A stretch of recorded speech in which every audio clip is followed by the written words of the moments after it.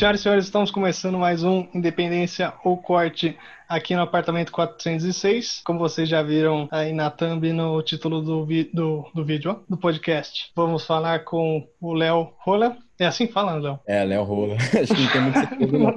Às vezes é rolha, sei lá. Tem algum... é, não, muita gente acha que é rolha por causa dos dois L's, mas isso é, é fake, é mentira. É, quando eu tinha vergonha do meu sobrenome, eu falava que era rolha, mas eu tenho orgulho, eu tenho orgulho demais dele. Sofreu muito bullying na infância? Não sofri, graças a Deus. Eu me bulinava mais que todo mundo. Ah, esse que é o segredo. Pois é, essa questão. Você se bulina primeiro e a galera meio que fica puta com isso e não te bulina mais. Ela é, parada que, que, o Tyrion fala pro Jon, Jon Snow. Enfim. Estamos aqui com o Léo, que já falamos, e a galera de sempre, o Fábio Amada e a Bebel de Andrade. Eu sou o Script, estamos aqui no Independência ou Corte. E, Léo, seja bem-vindo. Fala um pouquinho sobre você, fala uma breve apresentação sua. Cara, primeiramente, uh, eu queria agradecer imensamente a oportunidade de estar aqui, porque todo mundo tem que falar isso, né, quando começa o podcast. É. Quando a gente convida, a gente já exige essa. É Exatamente. É meio como etiqueta de um podcast, tá?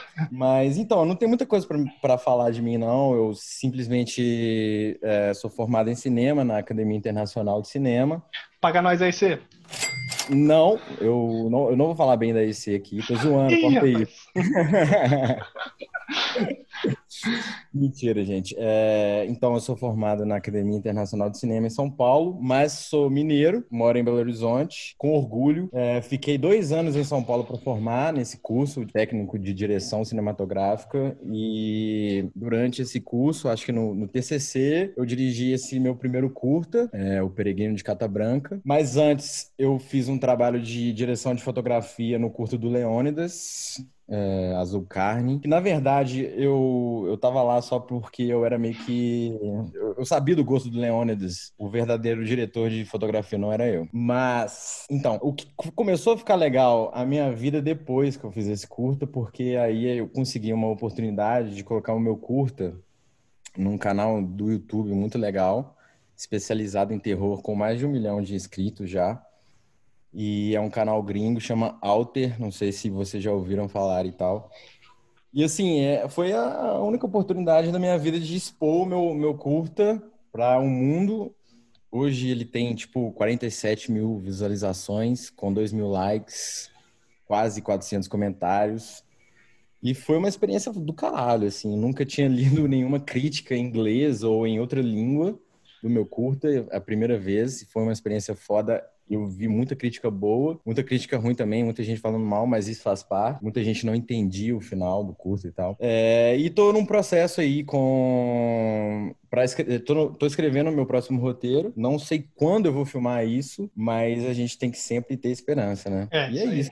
É, acho que essa já seria a pergunta lá da frente, depois a gente pergunta mais esse próximo projeto. É... Fechou.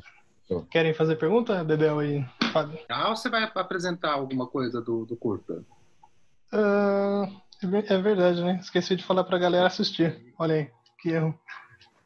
É... Que bom que vocês também erram, velho. Isso eu acho que eu vou deixar inteiro, vou deixar essa parte toda. Como você, ouvinte, já assistiu o curta, já sabe do que a gente está falando. Eu espero. É, assista lá no, no ou no Alter, no canal no, do YouTube ou no Vimeo. Os dois links vão estar aqui na, na descrição do, do episódio.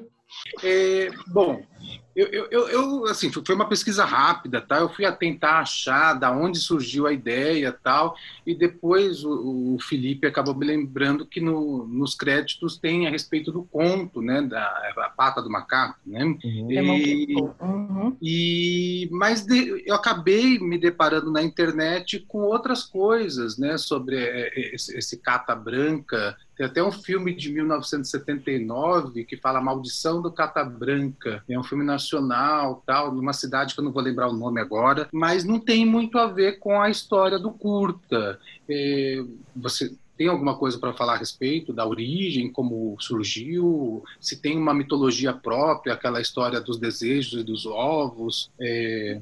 Fala aí. Ou então, você vai brochar. Porque, não, né? Porque, na verdade, o nome em si, ele não tem significado nenhum. Inclusive, você fez uma pesquisa e eu não tinha, nunca tinha ouvido falar nesse filme. Nunca. Eu, inclusive, foi, porque, tipo assim, eu, por isso que você vai brochar. Era uma fazenda que minha família tinha há muito tempo atrás, chamava Cata Preta. E aí eu falei, não vou usar cata preta, vou usar cata branca. E eu lembro de eu ter botado no Google se tinha alguma coisa escrito cata branca e não tinha achado filme nenhum. Mas que bom, vou dar, vou ter, dar uma olhada nesse filme. Você chegou a ver esse filme? Eu vi alguns trechos pequenos que tem no YouTube, acho que são sete minutos, alguma coisa assim. Eu acredito que não seja o filme inteiro. Tem a ver com uma fazenda de escravos, tal, Caralho. e com uma mina, e com uma mina que cai o teto, uma mina de escavação, essas coisas. Mas eu deduzi que não tinha nada a ver. Sim, é, não, não tem, não tem. Mas eu posso apropriar e falar que tem. Porque é melhor do que, do que a verdade, na real, né? Porque eu, o peregrino, a história do peregrino em si, do nome é também ridícula, porque eu tinha um primo, eu tenho um primo, ele não morreu, e ele mora no Rio, e ele falava, ele tinha ouvido de algum lugar, ele falava sobre esse tal peregrino de botas manhosas, formidável de botas manhosas. E desde pequeno eu jogava RPG com ele e tal, e desde pequeno eu ficava com esse nome na minha cabeça, tipo assim, gravou, eu gravei esse nome e nunca esqueci. Um peregrino formidável de botas manhosas. E aí, eu sempre falei, velho, esse é um tipo de personagem que eu queria usar em todos os meus filmes. É, ele aparecer em alguma pontinha, tipo Hitchcock, entendeu? Uhum. E, porra, meu primeiro filme, por que não? O título do filme ser O Peregrino. E aí eu, eu misturei esse O Peregrino e, e esse Cata Branca. É claro que, é, tipo assim, ele, o Peregrino de Cata Branca, ele é citado no, no, no curta no começo e tal, mas a minha intenção foi não mostrar ele em nenhum momento e deixar meio que, tipo assim, um, um ar de, tipo assim, quem que é essa porra? Por que que, por que que o título do filme é esse cara? E também foi uma inspiração de um filme que eu gosto muito, que chama O Duque de Burgundy, que é simplesmente um filme que não tem nada a ver com o título. Não existe esse duque em nenhum momento, não se, não se fala desse duque em nenhum momento e tal. Então, assim, é, foi uma pira minha que eu resolvi usar, assim mas não tem nada a ver, sabe? E, tipo, o, o, roteiro nasceu em si, baseado nessa história da, da pata do macaco, do Jacobs, que é uma história, assim, do século XIX, absurda, muito foda, e ela é puramente cinematográfica. Ela, assim, é uma história pronta para ser roteirizada. Uhum. Só que eu, eu vi muita, muitos curtas dessa história e eu não achava nenhum curta legal. Tem um curta de 30 minutos que é profissional pra caralho e tal, mas mesmo assim não era minha vibe, assim, e eu queria trazer essa história pro interior de Minas Gerais, que na verdade nem é interior de Minas Gerais, é interior de São Paulo. Mas, então assim, é, juntou as duas coisas que eu mais queria fazer, que era a adaptação de um conto clássico e fazer um conto no meio do mato. É, fazer um filme no meio do mato, desculpa. E eu lembro, não, sei se você lembra. Ah, não, o Felipe não estava com a gente nas aulas, né? Você, você, apareceu do nada. Não sei, não lembro como você apareceu. Como é que é, eu sou um escapista, às vezes eu apareço e jogo uma bomba de fumaça. Não, mentira, acho que foi eu, pela... eu lembro da primeira vez que eu te vi, mas eu não lembro como, o porquê que isso aconteceu. A gente se conheceu no curto do Leônidas, pô. Ah, verdade. Você foi, você foi para fazer o som e do nada você não quis mais fazer o som no meu, né? Não, não foi isso. Ô, louco, bicho. Lavando roupa suja no podcast. Não, não. Mas, mas, mas assim, ele foi, conversou comigo, falou que não, meu filme não merece um som legal e tal. E. Como assim? Não, então, deixa eu, deixa eu falar uma, umas considerações aí. É, eu, eu, entendo que tem vários filmes de suspense e terror que eles têm uma premissa parecida, assim. Eu acho que eu lembrei de uns três, mas eu lembro o nome só de um, que é um filme de 2017 que chama Sete Desejos, ou Wish Upon, que uma mina acha uma caixa e aí, tipo, que é capaz de conceder uns desejos, e aí, tipo, toda vez que ela faz um desejo, alguém próximo dela morre, etc. E tem alguns Peraí, outros... Esse é do diretor do, do Donnie Não. Não, não, não. Não, ah, não, tá. não. Um, filme A Caixa do diretor. Tem isso, tem A Caixa também. Esse é um outro que eu lembrei. Uhum. Que, na verdade, você está falando de escolhas e consequências, né? Sim, então, para cada, cada desejo, cada coisa que você pede, você tem uma consequência aí. E aí eu queria saber, assim, tipo, de forma mais profunda por que que isso mexe com você? Qual que é a, a parada, assim? O que que você quis, de fato, passar? Porque, em termos de narrativa, a história tá muito bem contada, que é uma coisa que, inclusive, me pegou muito, assim. Eu falei, caralho, tá aí. Essa foi uma história bem contada. E aí eu queria saber, assim, tipo, o que, que você quis trazer de fato aí, em termos narrativos? É, então, é, o, o conto é bem claro, quando você lê o conto, você vê aquela mensagem bem clara, assim. E até uma mensagem meio cristã, não sei, de cada Moral, né? É, uma moral cristã, porque o conto ele trabalha muito com essa questão de ganância, porque no conto a família não é rica, não é pobre, não vive na miséria. É uma família normal que viu na pata do macaco uma oportunidade de, de, de ganhar mais. Uhum. Só que o que eu quis fazer era exatamente o oposto, que era uma família que estava na miséria. E, tipo assim, eles não pedem uma grande quantidade de dinheiro, eles pedem a quantidade de dinheiro possível para poder, ser, tipo, acabar com com, tipo... Algumas coisas, né? Alguns perrengues eles conseguem Sim, os perrengues que eles estavam passando, exatamente. Uhum. E, e eu gosto muito dessa questão de, tipo assim, velho, mesmo na miséria, você tá fudido. Então, assim, quanto mais miserável você é, mais fudido você vai ser, entendeu? Essa é uma questão que, que me deixou um pouco... Eu queria muito tentar explorar isso no meu curta, mas eu fui, fui deixando livre, assim, não foi uma intenção é, desde o começo, não. E eu tô explorando isso também no meu próximo curta, que é, mais uma vez, a história de um cara miserável e se fudendo também. Então, assim, é... eu nem sei, para te falar a verdade, hoje em dia, quem bate na porta no final do curta. Quem que é o a pessoa que tá batendo, se é o filho, se é apenas o, o, se é o capeta, eu não sei, porque cada vez que vai passando o tempo eu vou tendo uma ideia diferente do que eu fiz. Mas no uhum. começo foi exatamente isso, foi explorar a miséria e tentar entrar nessa discussão de que, tipo, a pessoa miserável sempre vai ser mais miserável e a pessoa que não, não é miserável sempre não vai ser. O rico sempre vai ficar mais rico e o pobre sempre vai ficar mais pobre, o sabe? Bom, bom, bom, bom. Entendi.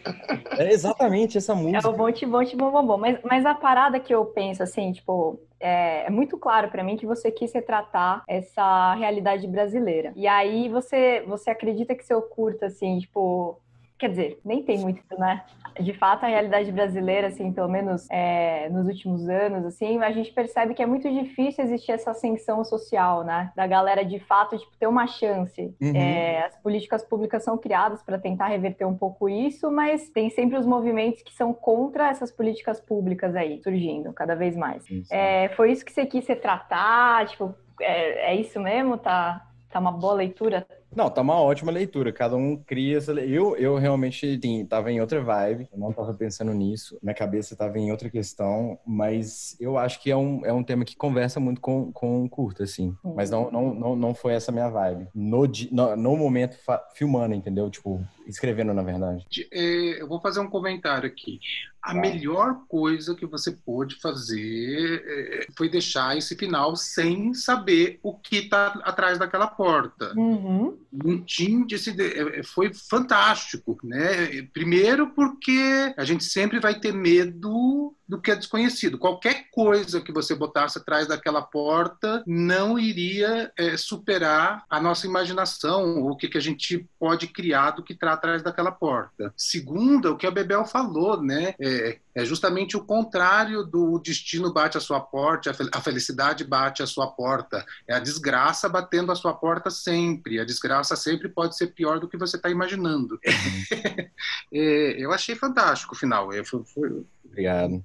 E o que, o que falar, assim, o final é fantástico. Então, esse, esse final é engraçado porque no conto é, a gente tem um final. E e o final ele pode ser meio broxante para muita gente. E a intenção minha era tipo, o que, que eu posso fazer de diferente que vai enriquecer mais esse final, porque para mim o final deixou a desejar no, no conto.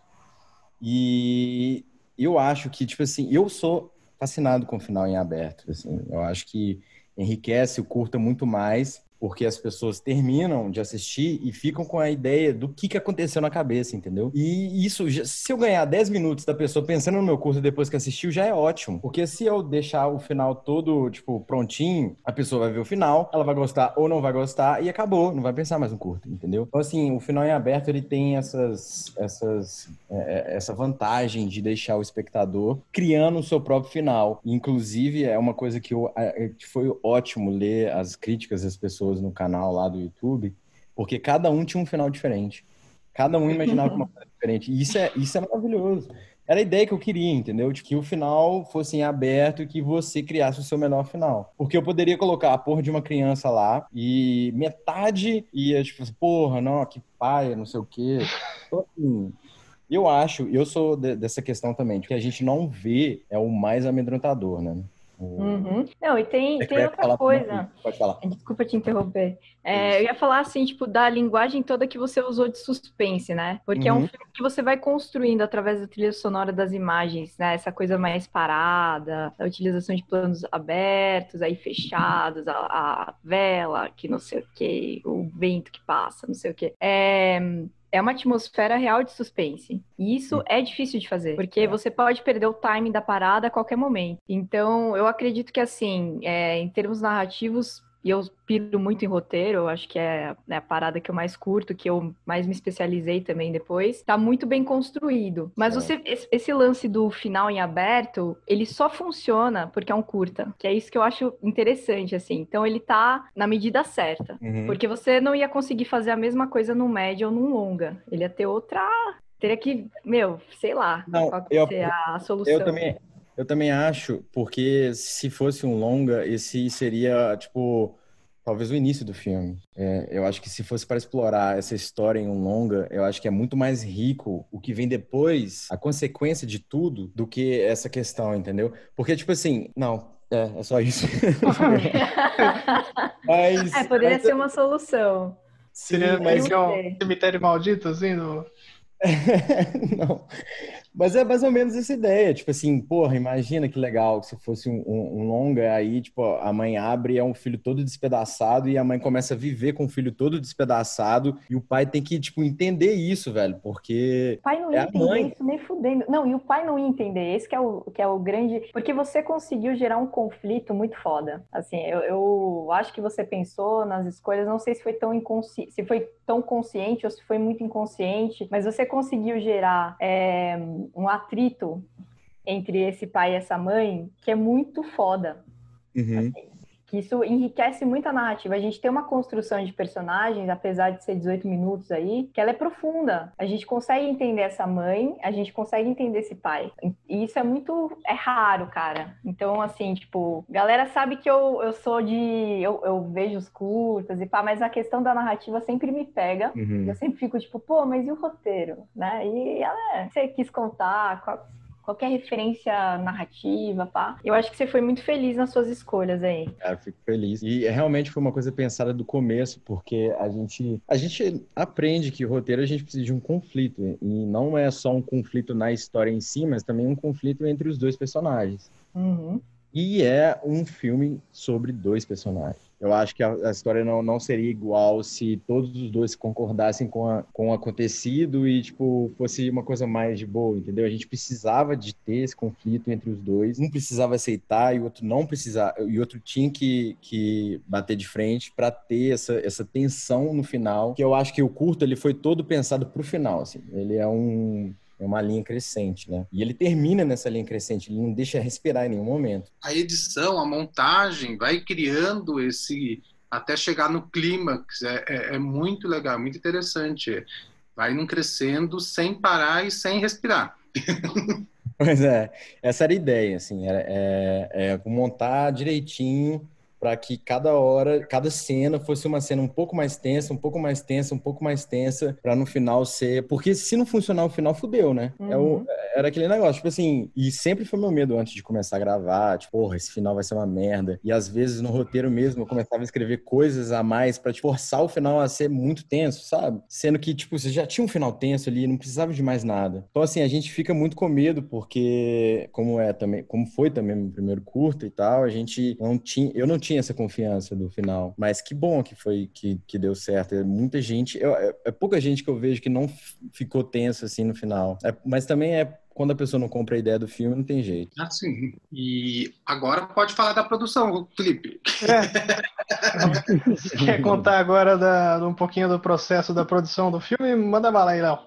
Vou contar, claro. É...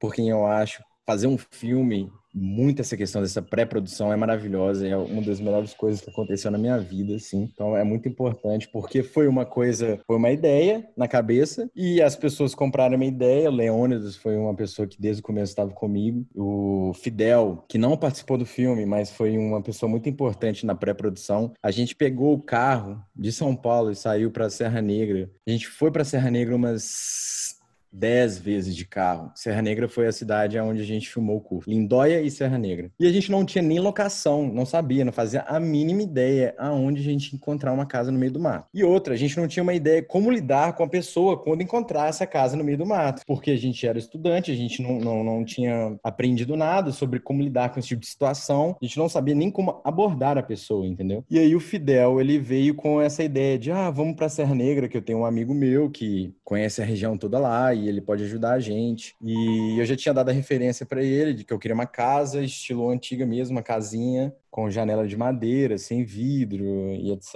pequena, casebre, né? E aí a gente foi, pegou o carro de São Paulo, a gente foi para Serra Negra ouvindo jazz, foi maravilhoso. Hum, da hora. foi, foi, foi, uma experiência muito foda. Assim. E chegamos lá, é, a gente conheceu esse cara, o que é o Diogo, que é um cara fodaço. Felipe, você pode falar pra gente, né, o tanto que esse cara é foda. E ele recebeu a gente, o cara mais feliz do mundo, falou, velho, vocês vão fazer um filme de terror, fechou, podem, podem filmar aqui em casa, eu apoio demais, eu amo cinema, eu amo filmes de terror, eu amo histórias de terror. É uma Madonna. Madonna. Eu, exatamente, eu amo a Madonna e a gente, caralho, que cara foda, velho. O cara tinha um pôster da Madonna no meio da casa, assim, e a casa dele, gente, é, era absurdamente foda, porque era cheio de coisa de objeto antigo, assim. Tudo. Você tinha. A gente tava com uma ideia de, de direção de arte. A gente chegou lá, na casa do Diogo, e tinha tudo pra gente. Pronto. Só tinha que colocar as coisas no lugar. Tipo, era o paraíso para mim, assim. E só coisa antiga, forno de ferro antigo, lamparina maravilhosa, é, era tudo que eu tinha escrito no roteiro estava lá. Então assim, aí a gente ficou, eu, eu dormi nessa casa umas três vezes com a galera da equipe pra gente poder sentir a vibe. E, enfim, era um ambiente muito foda. Só que quando a gente tá focado no terror, a gente fica com medo, né? é foda. Deixa eu perguntar uma coisa. Aquela janela circular, aquela, com aquele desenho, já tinha uhum. na casa? Já tinha na casa. Aquilo eu nunca iria ter imaginado aquela janela. nunca. Eu fiquei imaginando se aquilo era da casa. Eu falei, não é possível, gente, não é da casa. Ele é fez casa. aquilo. É tudo aquilo é da. Tudo que tá na casa é da casa. A gente não levou nada. Ah, não, mentira. A caixa do filme foi feita, mas o resto tudo tá da, é da casa. Foi muito foda.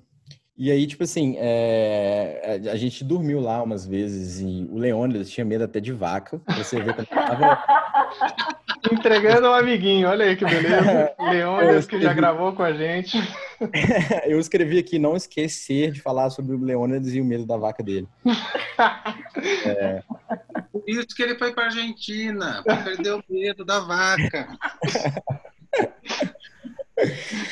Mas foi muito bom, porque, tipo assim, você imagina uma equipe toda, tipo, eram quase 20 pessoas ou 20 pessoas, todo mundo lá naquele ambiente pequenininho, assim. E eu lembro que eu fui super empolgado com uma trilha sonora para colocar durante o, tipo, a arrumação das coisas e tal, que eu queria colocar música de terror. E uma coisa que é importante falar também, eu sou um cara que faz muita merda, né?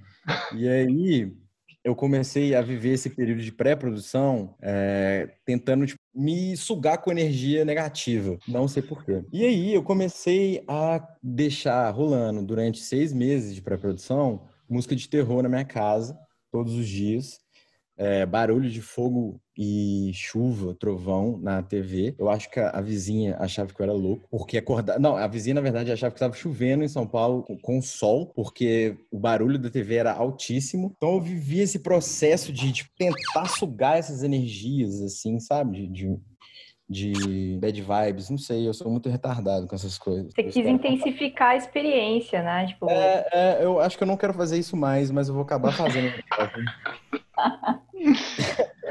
Mas aí foi isso, tipo assim, aí a gente foi para lá, a gente ficou uma semana. O Leônidas, ele foi o, nosso, foi o meu assistente de direção e ele foi um cara foda que deixou tudo perfeito, os horários perfeitos. Acho que foi a produção que menos atrasou nas coisas. A gente filmou todos os dias certinho, não teve atraso de nada. A gente teve tempo para curtir cachoeira, pra você ter uma ideia. Então assim, foi uma vibe maravilhosa. A galera toda, tipo, curtindo. Eu espero, se não. espero que não tenham mentido pra mim. Mas, cara, foi a melhor experiência da minha vida. Melhor experiência da minha vida. Os atores. Edmilson maravilhoso, Doró, Carlos. Então, a gente conheceu eles. Eu conheci o, o Edmilson por uma professora que me passou o contato dele. A gente marcou uma conversa e eu apaixonei com ele na hora, assim. Porque ele é um cara que encaixa muito no personagem que eu queria, assim. Super. E aí, ele me indicou a Doró. E a Doró, ela é foda. Ela é, tipo, uma pessoa que... Eu, eu tava... Eu, era a minha primeira vez com atores e tal, então eu ficava tenso, né? Igual eu tô tenso agora. Só que ela me deixava muito tranquilo, era uma pessoa que me abraçava, ficava fazendo brincadeiras, mesmo não me conhecendo muito, entendeu? Então, assim, foi uma coisa muito foda, foi uma convivência muito foda. O Carlos já tinha é, participado de um curta com ele antes, Aí eu lembrei dele, eu chamei ele, ele é um cara sinistro também, muito legal de trabalhar também. Então, assim, só, só dei sorte, velho. Eu, é, e eu, um cara que tava puxando tanta energia negativa, só dei sorte nessa porra. Você vê como é que são as coisas. E o dono da casa ficou lá junto ou o dono da casa foi para outro lugar no período? Então, ele, com o período na casa, eu não lembro se foi na casa da tia dele, que morava na região ali do lado. Ele não ficou junto com a gente, não, mas teve uma ou duas vezes que ele chegou chapado no meio das filmagens e foi bom demais. A gente parou as filmagens para ficar curtindo com ele, porque ele tava muito feliz também. Dava para ver que ele tava muito feliz, que a casa dele era um personagem de um filme de terror, assim. Uhum. Então, a cena é maravilhosa, Fábio. Você tinha que ver ele berrando Madonna no meio do set. Montando o plano, montando o set. Muito bom. Cara, e o final, quando a gente terminou de gravar, a gente fez uma rodinha na cozinha lá, naquela cozinha que vocês viram no começo do curto. Aí, você lembra disso, Felipe? Lembro. Aí a gente, cada hora um falava alguma coisa. Não sei quem que deu essa ideia. Mas assim, foi muito bonito. E o Diogo emocionou, eu chorei falando. É, inclusive, eu preciso contar isso. É, isso é legal de contar, porque é um vacilo. Eu tava tão feliz é, se vocês acharem que é vacilo demais, vocês cortam. Mas eu tava tão feliz no primeiro dia que eu comecei a beber cachaça, que era a cachaça da fazenda do, do da tia do Diogo. Ela veio meio que, tipo, oferecendo cachaça. Eu falei assim, caralho, velho, é o dia mais feliz da minha vida, eu vou tomar essa cachaça. Em sua comecei... defesa, eu não achei vacilo, não. Eu achei isso aí, meu, perfeito, o mínimo.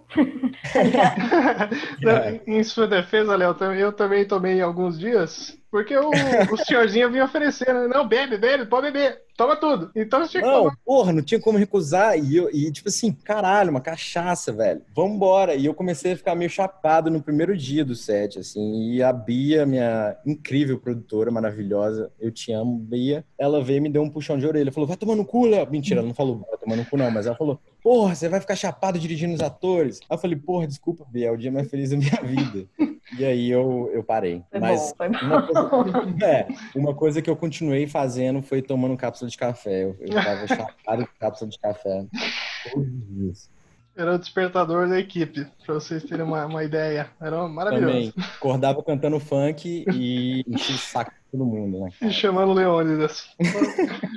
Foram quantos dias? Acho que foi uma semana, mais ou menos. Um pouco menos, né, Felipe? Acho que seis ou sete dias, não lembro direito. É, é, mas teve um dia que a gente meio que ficou bem folgado, assim. A vantagem de filmar a maioria das coisas de noite é isso, assim. Você, aproveita mais o dia para organizar as coisas e tal. É, foi o dia que a gente foi pra cachoeira, né? Foi ficar de boa lá. É dar uma relaxada. Mas foi muito bom porque a gente eh, coisas bizarras aconteceram porque a gente chegou lá e aí a gente sabia que lá era um, um lugar no meio do mato e tal e é cheio de bicho e tem rato, caralho a quatro. A do nada a gente ouvia o grito da galera, era um rato que descia para ver como é que tava a filmagem, para saber como é, que, como é que tava, porque ele era o dono da casa e a gente tinha que respeitar o rato. Ele tinha eu, nome, lembro, eu lembro Hã? de uma história, você confirma para mim, é que a gente foi, eu fui uma vez lá antes de filmar, aí tinha um arranhado na na porta, assim, na, na porta da entrada da casa, um risco, assim. Aí o dono, ah, isso aí acho que foi, foi a onça fez. Eita, que beleza, hein? Tinha até onça lá, mas acho que essa aí não veio ver a filmagem, não. Seria uma adição mas... boa pro filme. É. Não, tinha macaco que entrava no meio da cozinha e começava a comer. Tem uma parada aqui que tá escrito que é lareira na TV. Ele, ele comentou rapidinho aqui, se quiser explorar um pouquinho mais, Léo, que a produção ah, tá. Teve acesso a essa informação e vocês contar um pouquinho mais dessa experiência. Você fala do que eu passava seis meses ouvindo lareira. Você dormia com a lareira ligada na TV?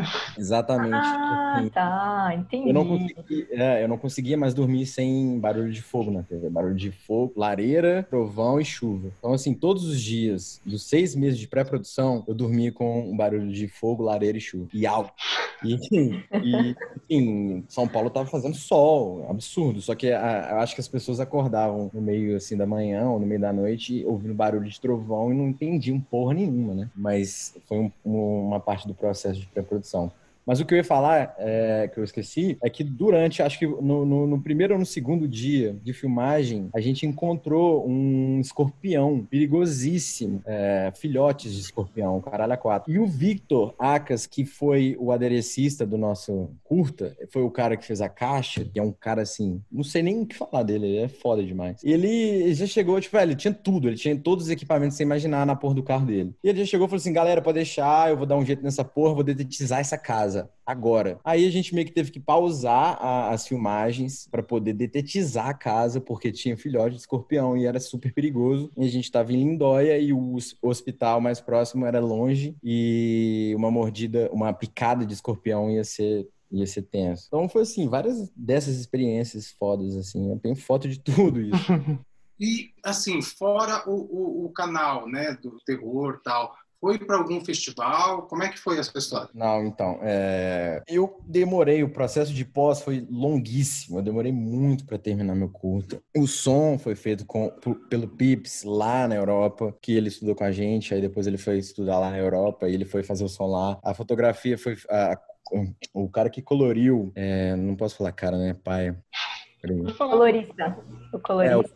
É, é, mas eu esqueci o nome dele, tem que falar o nome dele, sacanagem. Porque ele não era do time, assim, eu é, foi uma pessoa que eu descobri depois. Não tá aqui Porra, na... Tá na lista aqui, não. Ah, né? Não. É. Enfim, é, o processo de pós foi demorado e tal, e aí eu comecei a demorar também a querer botar meu curta nos festivais, e aí eu comecei a olhar só, só tipo, festival como Ouro Preto e Tiradentes, e aí eu fui sendo recusado nesses festivais e fui perdendo a vontade de gastar mais dinheiro com isso e me fuder.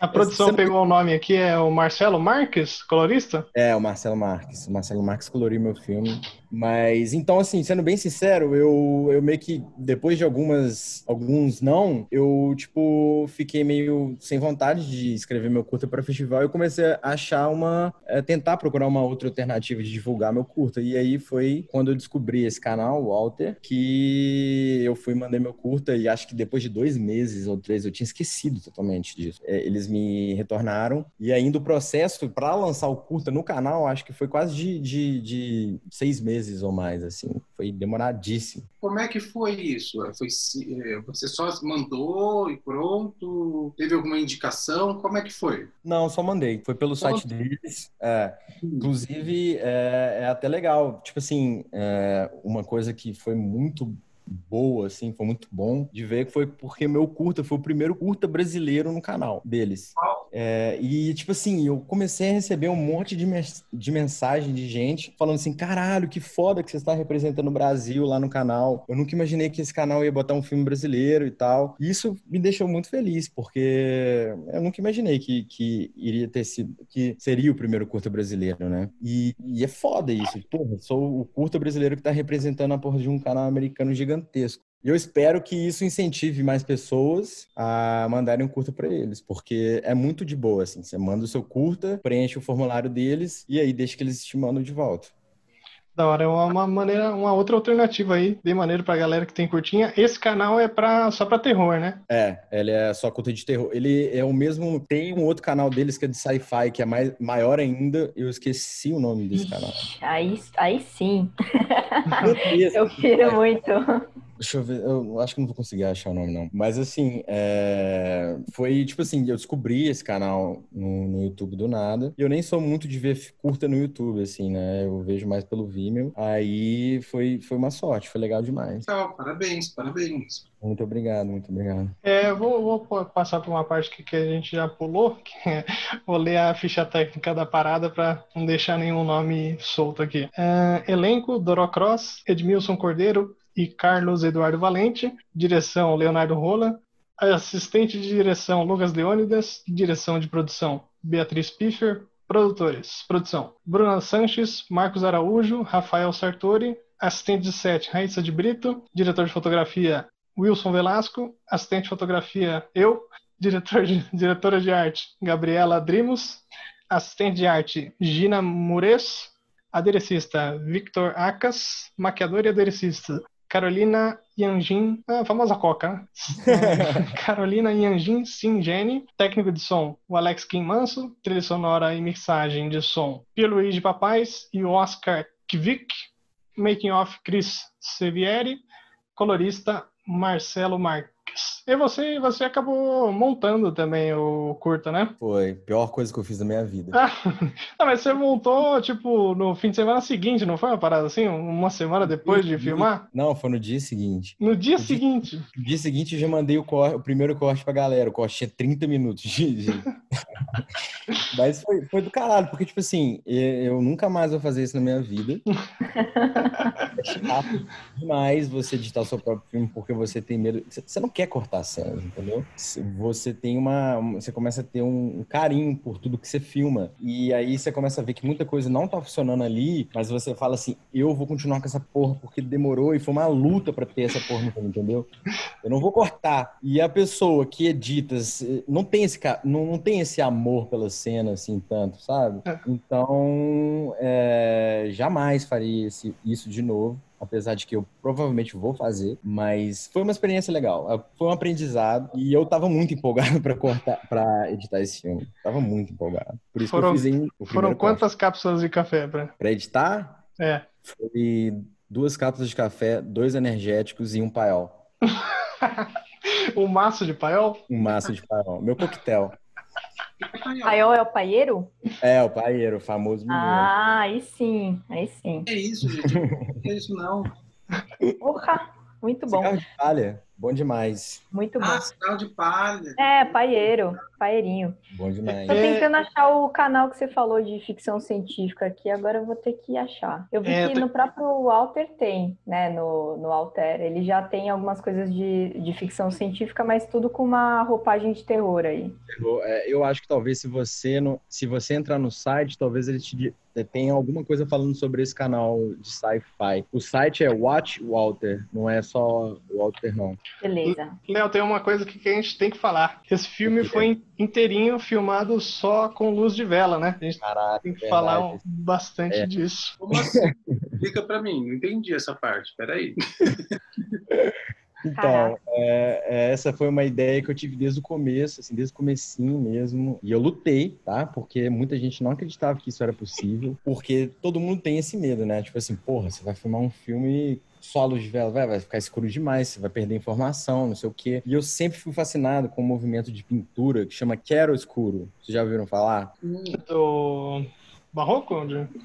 É, né, né, nessa Caravaggio foi um dos uhum. grandes autores de Quero Escuro. É, Rembrandt, o Giovanni Aldini. Não, mentira, Giovanni Aldini foi outra coisa. Viajei na maionese aqui. Tô olhando a cola, aí eu errado. Johannes Rosiers foi um cara também que pintava muito nesse estilo. E era uma era questão de, tipo assim, luz e sombra, entendeu? Um trabalho de luz e sombra. Era uma fonte de luz e a gente trabalhava as sombras no, no, no objeto tridimensional. E foi muito essa ideia que que, eu, tipo assim, foi por causa dessa ideia que eu tive essa vontade de filmar solos de velas. Também influência de A Bruxa, do Robert Eggers, que também fez muito isso. Mas ele usou luz artificial fingindo que era vela. Poser. Eu queria, eu queria ser mais true, exatamente. Eu queria ser mais true. Aí a gente teve que correr atrás daquela Sony 7S, que na época ela era a promessa que você poderia filmar tudo no escuro, assim, sabe? E muita gente não acreditava na potência dessa câmera. Inclusive, foi uma luta para falar, gente, foda-se, vamos tentar. E a gente, se a gente errar, fudeu, foda-se.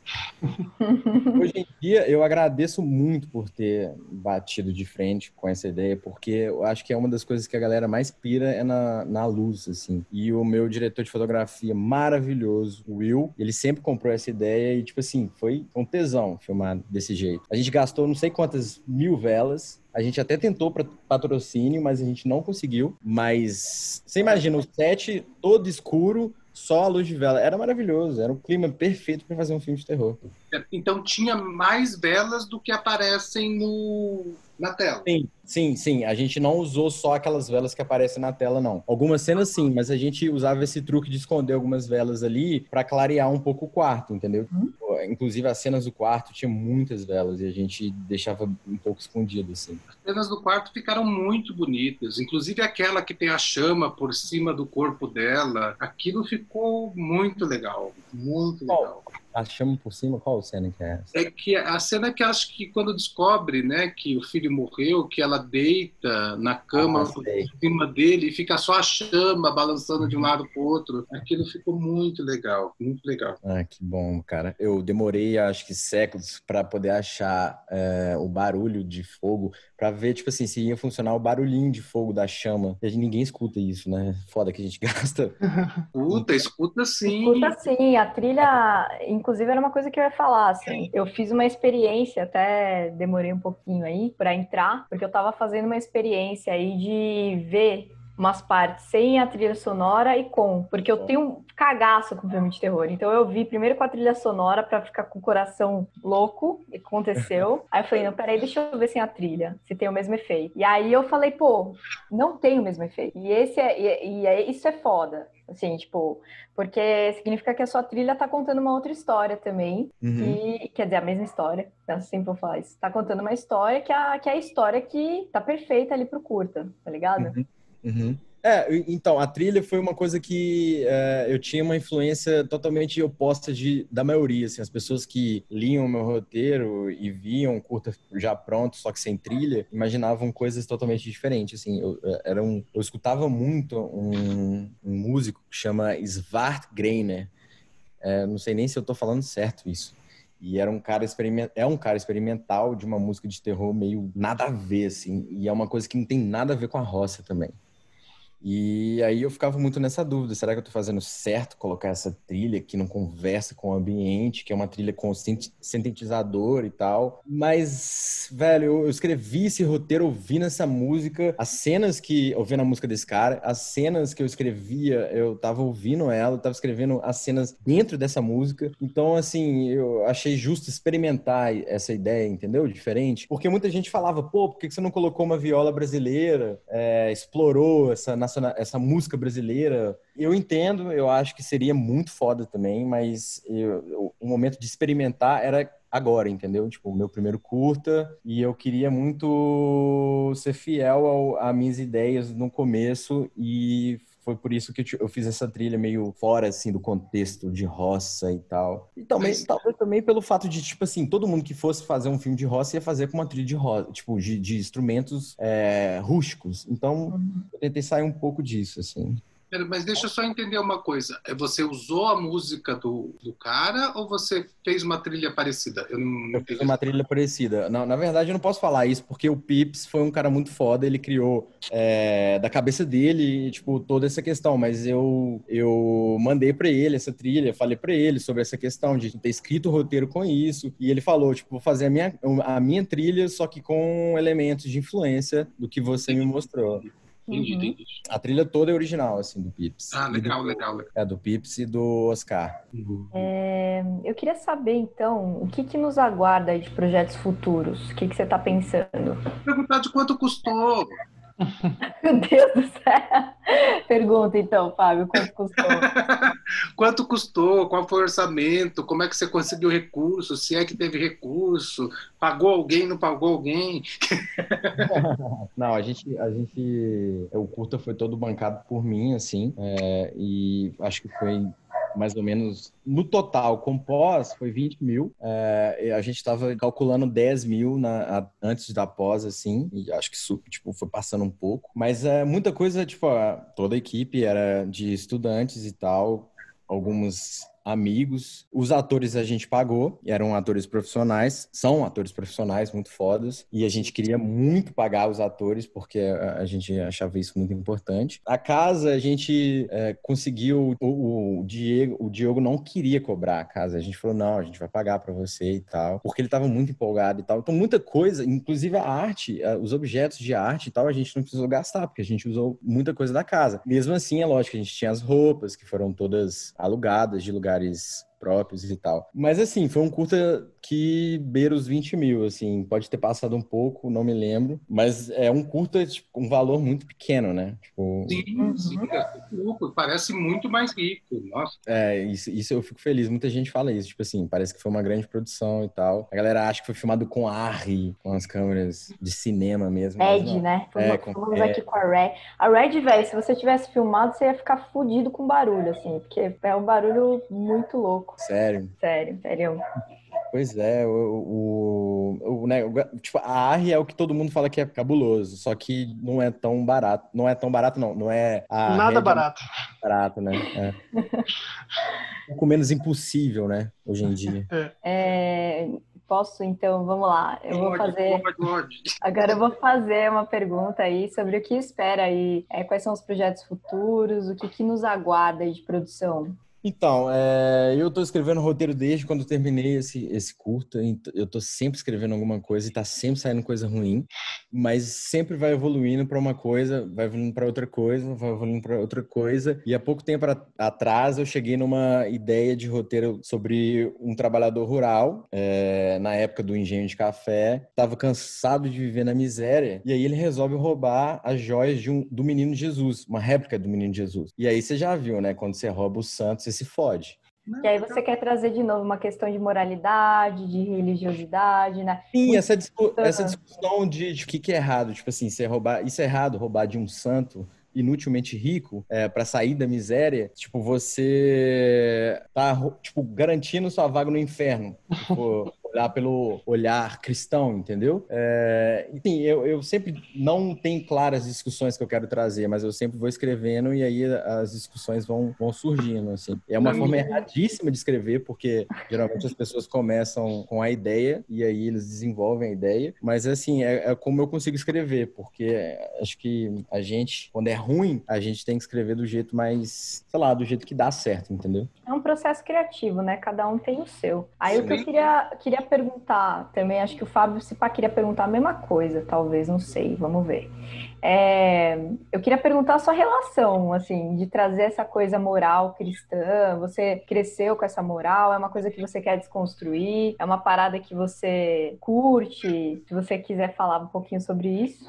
Vou falar, claro, é um fetiche, na verdade. Porque hum, eu, sou um, eu sou um cara ateu e eu tenho um fetiche muito grande com, com essa bizarrice da religiosidade, da religiosidade. Tipo assim, essa, esse culto à imagem, inclusive na época, né? Na época do, do Brasil colonial. Eu sempre fui fascinado com essa questão e eu queria muito explorar isso, mas eu não sabia como. E aí eu li um conto no, do, de um livro do Gilberto Freire. Eu sei que o Gilberto Freire não é um cara legal, mas mas eu li um conto, é, acho que é Meu Recife Assombrado. Eu não, se eu não me engano, eu tô falando o nome errado. Sobre essa velhinha que dedicava vida ao menino Jesus. E ela dedicava com joias e pedras preciosas. E cagava pra família dela, entendeu? Tipo, o dinheiro ia só pro santo. E eu acho, e eu acho isso uma coisa assim, ao mesmo tempo que é fascinante, é bizarríssima, né? Uhum. E, e, até hoje existe isso, gente que, tipo, é, abdica do, do pouco dinheiro que tem para comprar uma vaga no céu. Isso aí é super atual, né? E assim, é, é, eu acho bizarríssimo. Desculpa quem é, é, é...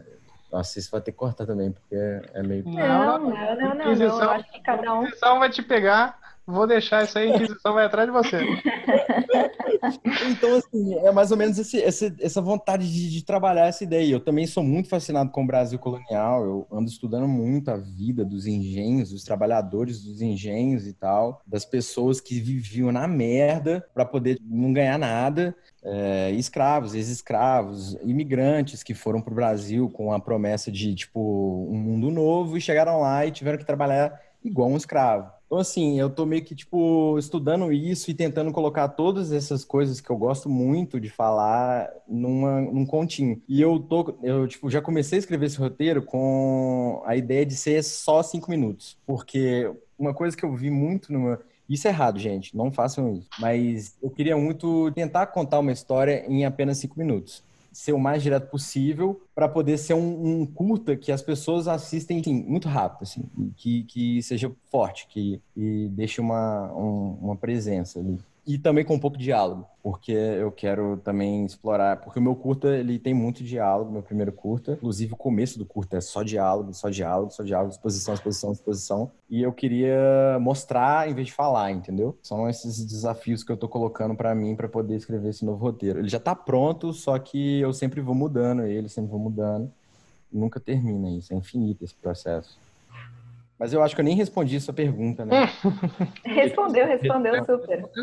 Eu acho que é mais um fetiche, assim, é uma coisa que eu acredito que para mim é muito bizarro, como ateu eu acho muito bizarro. Não é só a religião cristã, mas eu tenho um fetiche maior com a religião cristã, assim. É uma coisa meio anti-iconográfica, assim, tipo, de, de, descontextualizar a imagem, desconstruir. Entendi. Legal. Eu vou fazer duas considerações aqui. E Bom, primeiro que eu também concordo, eu sou ateu e, e muita, muita gente critica os meus roteiros porque fala, puta merda, porque se você é ateu, por que você fala tanto de religião? Mas é exatamente isso, né? Quanto mais a gente é ateu, mais a gente fala dessa porra. e outra coisa, é nada mais atual do que falar do Brasil colonial. É... é, né, não mudamos tanta coisa assim, não mudamos quase nada. E, e, e essa história de, do, da, de, dele roubar o, o, as joias do, do santo é uma metáfora, é uma crítica direta a, a, a característica da igreja católica, né, do dízimo, de tudo isso. Então, é bem atual, é uma ideia interessante e é rápido, é direto, legal.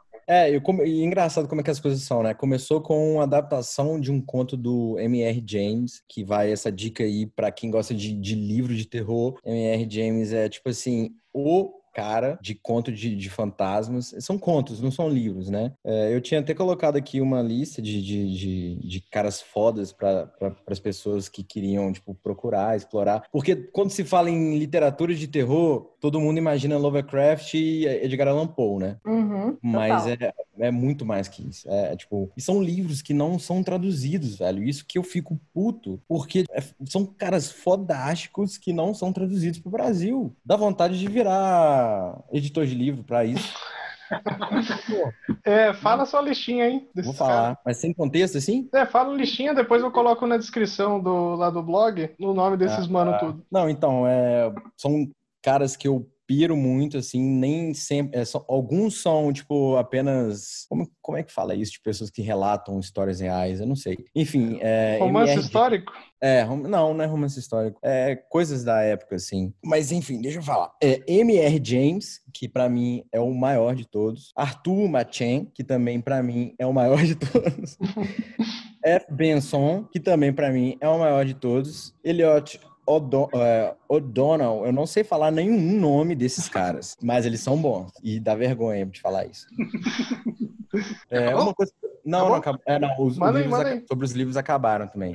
Mas eu queria falar muito da, da, da influência assim, que, que eu tive para o meu curta. Não escrever no roteiro, mas como filmes que me, deix... me, me fizeram estudar para poder fazer algo parecido, assim, influências mesmo. Fala aí. Eu, e Vidas Secas foi. É, acho que, tipo, Vidas Secas vai ser o filme que vai sempre estar tá comigo como influência para fazer esse tipo de cinema que eu quero fazer, assim. Que Nelson Pereira fez uma obra de arte de cinema brasileiro, que até hoje é um filme foda. Eu não sei se, se tá pau a pau com o livro, mas é um filme muito foda. Eu também usei muito do Belatar, O Cavalo de Turim, que é um filme também sobre essa família que fica presa na casa. Então, assim, são dois personagens na merda, na miséria, com, tipo assim, clima, é, vai até o clima é contra eles, entendeu? Que é também outro, outro filme que tá sendo uma inspiração muito grande para esse meu novo roteiro. Mas tudo começou com Uncle Boom, do Apichatpong. Vocês já viram esse filme? Sim, sim, ganhou palma de ouro em Cannes. Sim, então, esse Uncle Boom, ele para mim, ele é um filme muito especial, assim, é o, é o, é o estilo de cinema que eu piro, assim, que é atmosférico e contemplativo demais. É tipo assim, chega, é tão contemplativo que é chato. Mas eu não achei que o seu filme tem a relação que o filme dele tem com a natureza. Não, não tem nada no meu filme dele. Não tem nada. Mas porque começou com a vontade de fazer igual ele e terminou com outra coisa, entendeu? é porque ele tem uma relação dessa coisa mitológica com um regresso à natureza, né? É, a involução do homem a ponto de tentar é, conversar com a natureza e a partir daí surge os mitos, a mitologia. Você já cai direto para a mitologia e, e, e, cria toda a, a sua própria lenda ali, né? Isso, é. E, não, só um comentário. Não, sim, não, mas é porque começou como uma coisa muito mais a Pichapong e aí virou outra coisa, assim. Porque, não, mas é legal, é legal, muito legal. Inclusive, tipo, o primeiro corte tinha 30 minutos porque eu queria ser contemplativo igual, entendeu? Tipo assim, você vai ver essa vela queimando inteira e não vai reclamar. eu gosto de filme devagar, eu gosto pra caralho, assim. Mas...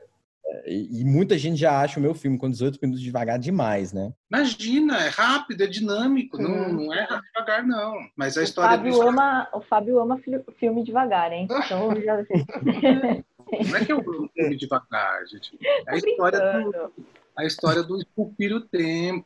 Você, uhum. tem, você, tem, que criar o seu tempo dentro do cinema, né? Eu é, curto também. É muito legal essa história de você poder modificar o tempo real, né? É, é muito interessante. Cara, em off, assim, só porque não tem nada a ver com o assunto e tal, eu assisti um filme há pouco tempo atrás, eu acho que você vai pirar, e é bem contemplativo e tal chama A White White Day. Eu acho que é um filme norueguês, não, se não me engano, finlandês, não sei. Né? Nórdico. Nórdico, talvez. É. Já, Esse eu não vi, não. Esse eu não vi, você lembra? Não vi. Cara, as primeiras cenas do filme é tipo um, a primeira cena do filme é um plano de acho que cinco minutos de um carro, assim, andando no meio de uma neblina. Aí depois tem um plano de passagem de tempo que, que é quase 10 minutos que vai passando o tempo, assim, com a mesma cena que é maravilhosa, maravilhosa. E tem um plano que o cara conta uma história para a filha de cinco minutos que a câmera fica parada, só dando um zoom devagarzinho, cinco minutos sem corte, contando uma história de terror. eu, eu sou fascinado com isso, assim, eu porque, tipo, eu lembro que eu tava escrevendo com o meu professor um, um, roteiro e ele falava que, tipo assim, porra, não pode passar de, de, de, não sei quantas linhas o diálogo, o monólogo. Aí eu fiquei com isso na cabeça. Aí quando eu vi esse filme, eu falei, caralho, o quê, velho? Eu vou escrever essa porra 10 minutos de diálogo, foda-se. Pode fazer uma... é. é. Vamos, vamos passar para os finalmente já? Não, não, não, só mais uma pergunta. Peraí, peraí. Ei, lá, filme... Não, não, Brincadeira. É fala aí, fala aí, fala aí. Esse filme foi, ele foi gravado em que ano? E foi tipo, gravado ano passado, em 2018. Qual, White White Day? Não, não, o seu. você fez, o seu ah, curta. Ai, não, fodeu, que eu estraguei essa pergunta, né? Não, falei. Não, é, não, esse filme eu não sei, velho. Eu para te falar a verdade, eu me perdi no tempo desse, da data do meu curta. Eu não faço ideia de que ano foi gravado. Acho que em 2018. Acho que 17, não lembro. Acho que foi 17. Foi um filme que demorou muito na pós-produção, assim. É... E, tipo assim, o corte dele foi rapidão, mas o resto eu fui deixando, tipo, fui levando. Ah, não sei, eu nunca terminava de editar o filme, na verdade. Eu continuava editando o filme em 2000 e, e quase em 2019 já tava, eu ainda estava editando o filme. As pessoas do meu curta podem falar isso, quem trabalhou, sabe? Disso. Eu acho que foi 2017. O grupo aqui do WhatsApp foi criado em 2017. Então... então foi 2017. Foi em junho, não foi, Felipe? Acho que foi, foi no inverno. É, inclusive, contar uma coisa, que a gente ficou tanto um tempinho lá na, no meio do mato, que eu lembro que no dia que, que a gente voltou, eu não sei porque eu fui almoçar no, no shopping, e eu entrei no shopping assim, eu olhei as paredes, assim, eu, nossa, que lugar estranho. Eu estranhei a sensação de estar dentro de um prédio tão esquisito e não no meio do mato. Foi bem louco. É, Léo, quais dicas, umas sugestões você daria para a galera que está começando agora no cinema, que talvez ainda não fez o seu primeiro curtinho? É, velho, é, vai ser que quero tentar fugir desse clichê de, dessas coisas que todo mundo fala, né? Mas a, a dica que eu tenho é ler. Para quem tá começando e quem tá querendo escrever alguma coisa, velho, não existe outra coisa sem, senão leitura, porque é daí que surgem as ideias. E é ler e assistir filme pra caralho, é assistir filme e ler, e ler e assistir filme, e mandar pros amigos. Porque se tem uma coisa que eu faço, é tipo escrever um roteiro, mandar pro amigo, aí o amigo fala mal, aí eu vou e mudo. Amigo de confiança, né? Você tem que sempre ter esse amigo que você fala assim, caralho, esse cara tem um gosto parecido com o meu, ou então ele entende o que, que eu quero passar e ele entende também de, de, de estrutura de roteiro, alguma coisa. Mas, e outra coisa que, que é interessante, que é uma coisa que eu não fiz, mas eu me arrependo, é fazer.